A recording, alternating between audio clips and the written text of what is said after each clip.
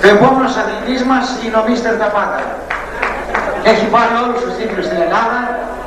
Δεύτερος Μίστερ Ευρώπη εφέτος. Δημήτρης Ασημομίτης.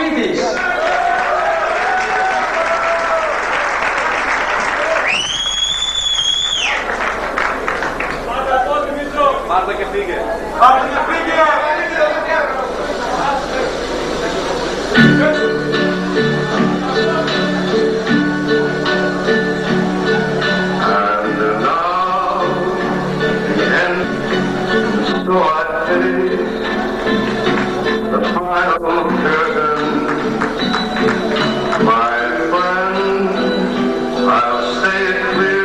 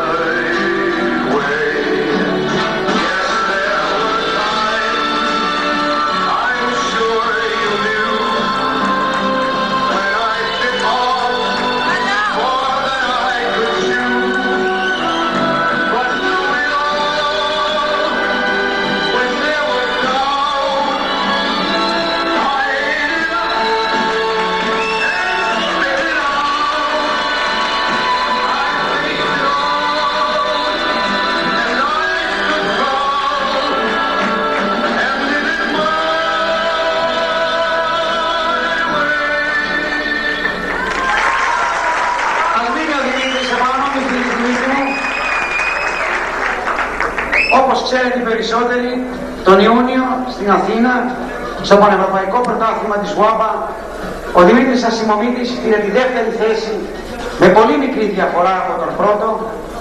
Γι' αυτό καλούμε μια άλλη μεγάλη ελληνική μορφή, μια κοπέλα, για να έχει το κέρδος ενός φιλιού, την μεγάλη Λίτσα Αβράμη, την Ελληνίδα